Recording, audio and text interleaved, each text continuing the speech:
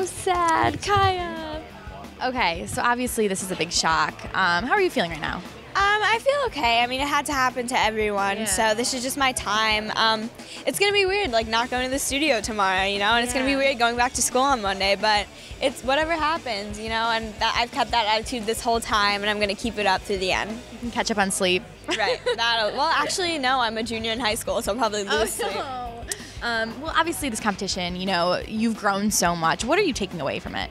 Um, I'm taking away like a new sense of confidence and just a lot of knowledge because this is something that no one gets to experience, and I got to experience it. So that's awesome, and I'm gonna keep that with me for the rest of my life. Totally. What did um, Demi say to you? Demi was really nice, and she was like, "You better keep singing. I love you. Like, I'm so happy I got to work with you." And she was just so sweet and supportive. And I think she was a little upset that I had to go, and so was I. But you know, it had to happen. Definitely. And obviously, moving forward in the industry, you know, for you, um, are you going to keep singing, keep it up? Yeah, I mean, I always go back to music. I've always been singing, and I'm gonna go home and practice with my band this week. And um, I mean, hopefully, I'll be able to record some of the stuff I've written and write some more things and get to meet some more people. What's your band called?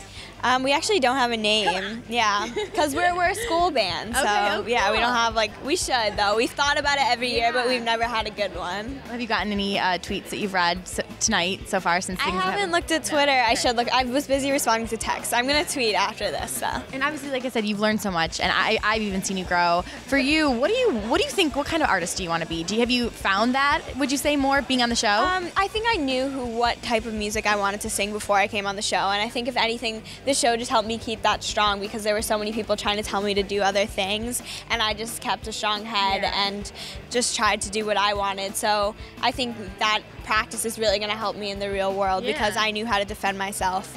Um, so.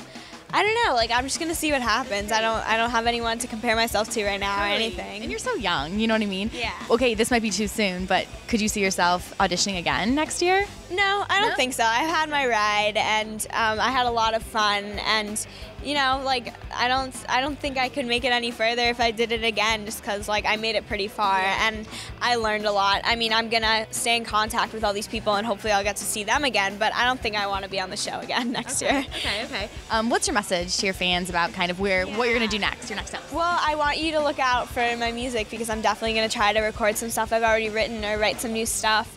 And I just want to thank you for letting me do this because you kept me here this long. And I want you to keep supporting me after and watching me grow and learn. And you know you're really you're really proud of yourself, right? Because you should be. I am. I'm proud. I'm proud of how I like uh, how I matured throughout this competition and how much I learned. And you know that I love you, and you're one of my favorites, right? and I'm gonna miss you. But obviously, I know it's not the end of you. So Yes. So you're the you best. so Keep in touch, girl.